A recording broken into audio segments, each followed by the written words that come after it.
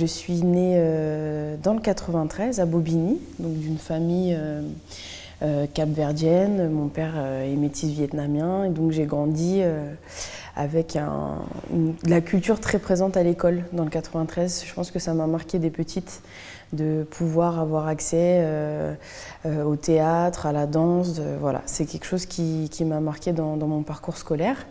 Et puis J'étais une adolescente plutôt, plutôt tranquille, plutôt posée, même euh, je dirais un peu effacée. Et, euh, voilà, j'ai continué un peu à nourrir mon univers euh, en lisant beaucoup des mangas. voilà, j'avais ma, ma, petite bulle à moi et j'étais très sensible à la danse très jeune, sans, sans être une danseuse à proprement dit, sans prendre des cours en conservatoire ou autre. Mais à la maison, culturellement, la danse très présente finalement.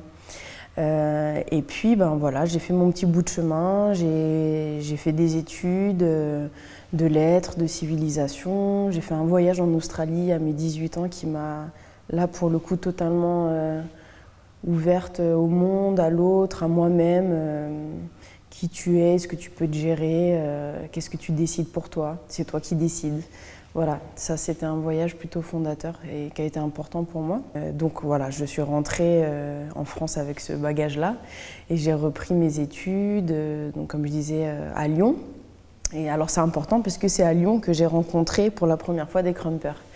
Après avoir vu le film Rise, du coup dans les années, si je ne me trompe pas, 2000, 2005, ça devait être autour de 2005-2006. Et donc voilà, bah, du coup, euh, le crump est, arrivé dans ma vie euh, grâce au film de David Lachapelle, Rise.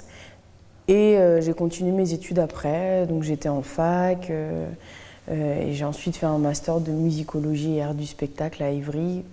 Une fois que voilà, c'était sûr pour moi que l'art, la culture, je voulais en faire quelque chose. J'ai toujours été atterrée par la danse, mais j'avais un manque de confiance en moi où je me disais, ben, le hip-hop, ça n'a pas l'air facile, il y a des figures. Euh, j'avais déjà bien, euh, ouais, j'avais déjà une vingtaine d'années, 20 ans, 21 ans, j'avais jamais dansé. Je me disais, bon voilà, c'est trop tard. On a cette image, euh, la danse, on commence quand on a 10 ans, sinon après c'est foutu. Donc le hip-hop, jamais, par pure crainte, malheureusement. Et, et alors le crump, je me disais à tort à l'époque que ça allait être plus facile. je me suis dit ouais mais oh, ça a l'air euh, différent, enfin voilà, chacun rentre dans le cercle, euh, ça peut sembler euh, moins construit, moins codifié, alors qu'en fait pas du tout. C'est d'autres codes, c'est d'autant plus difficile, c'est d'autant plus technique. Mais voilà, j'ai eu la chance finalement de, me méprendre et d'y aller. Et une fois que j'ai été dedans, eh ben j'ai voilà, j'ai j'ai trouvé euh, une nouvelle façon d'exister. Je ne pouvais plus m'en passer, je ne peux plus m'en passer euh, concrètement. Et puis euh, voilà, c'est une danse aussi qui laisse s'exprimer ben, la, la, femme, l'homme, le physique. On est tous différents et justement, c'est ce qui a fait que j'ai pas arrêté parce que fait, j'ai senti que ma spécificité à moi, mon univers à moi, était, euh, était mis en avant et avait la possibilité de s'exprimer d'autant plus dans le crump parce qu'il y a une forte, il y a une, il y a, y a une forte notion de caractère. Il y a la technique, il y a les mouvements qu'il faut répéter encore et encore. C'est beaucoup de travail pour les intégrer. Mais après, l'autre dimension du crump pour moi qui est euh, qui est génial, c'est comment on crée un personnage, un ou plusieurs, comment on les fait vivre ces personnages, comment il y a une sorte d'attitude, une sorte de grandeur, des fois une sorte de quelque chose de plus renfermé, de plus animal, de plus monstrueux, et à d'autres moments des choses qui sont plus légères, qui peuvent faire sourire parce que voilà, on décide qu'est-ce qu'on veut dire aux autres danseurs, qu'est-ce qu'on veut dire au public. Et finalement, dans la, pièce que, que je monte, c'est Lul, le ce solo. Euh, voilà, je suis encore ailleurs. J'ai mis l'accent sur euh, ce qui était pour moi le plus important dans le crump, ce personnage-là. Donc j'apporte quelque chose qui est quand même euh, de l'ordre de mon univers et qui sort de la, on va dire, du cadre proprement, à proprement dit crump. Ça c'est important pour moi de le dire aussi. De toute façon c'est du crump parce que je suis crumpeuse et que je suis pas autre chose. Mais j'ai eu la chance de nourrir mon esprit et mon corps de plein d'autres danses finalement. Et fin 2012, moi je sortais tout juste euh, de mon premier emploi, euh, emploi tremplin, j'étais dans la médiation culturelle. Alors voilà, je, voyais, pardon, tout le milieu de la culture et, de l'art, mais de derrière, comment on organise, voilà.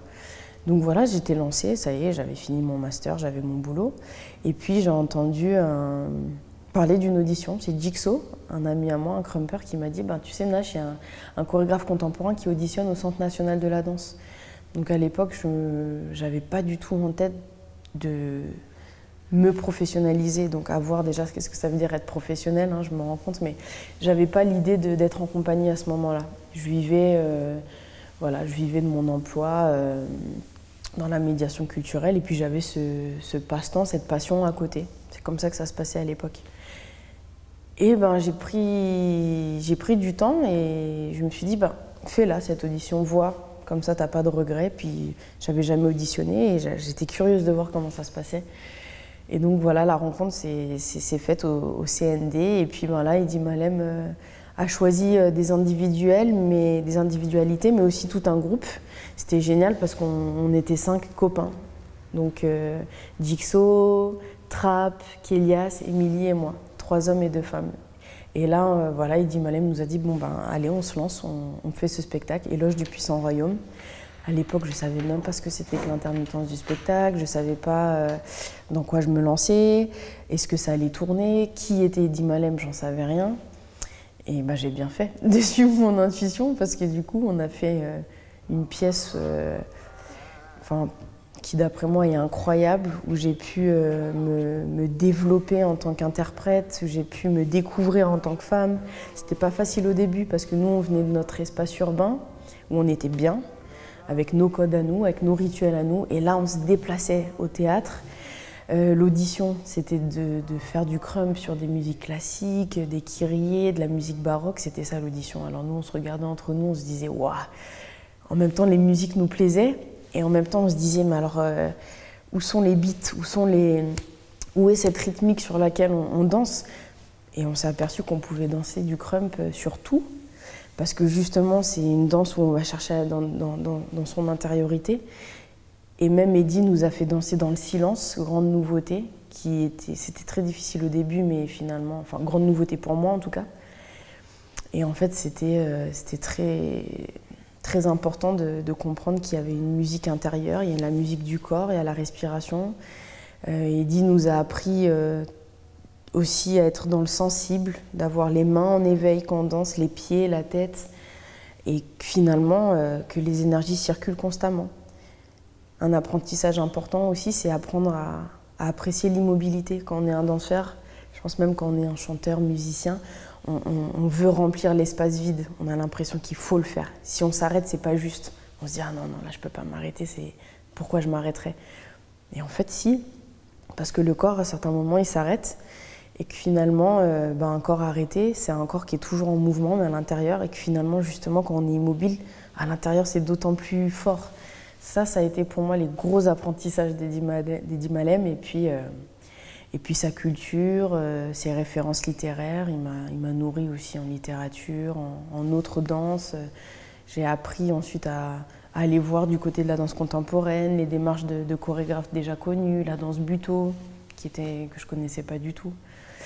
Euh, donc voilà. Et puis donc après, on a continué le travail avec Eddie. Donc en création début 2013, une tournée de trois ans partout. C'était énorme. La Corée.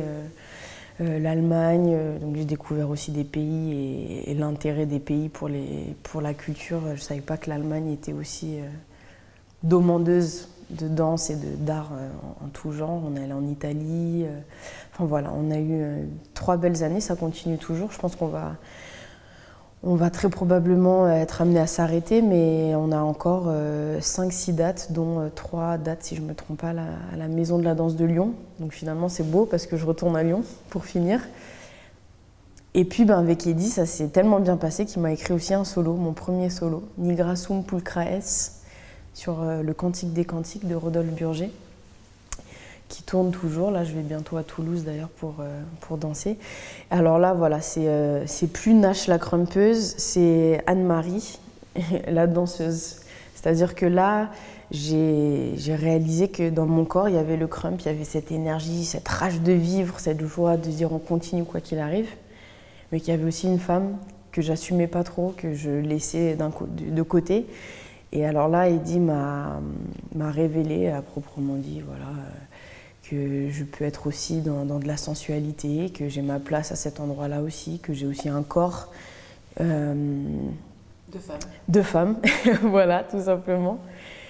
Et euh, voilà, ça c'était le travail, euh, c'est le travail avec Eddie. Ce qui m'a motivé aussi à un moment de me dire, ben, tiens, Eddie m'a fait un solo, mais alors est-ce que moi je vais être capable un jour d'écrire pour moi, d'être auteur? J'avais cette envie forte.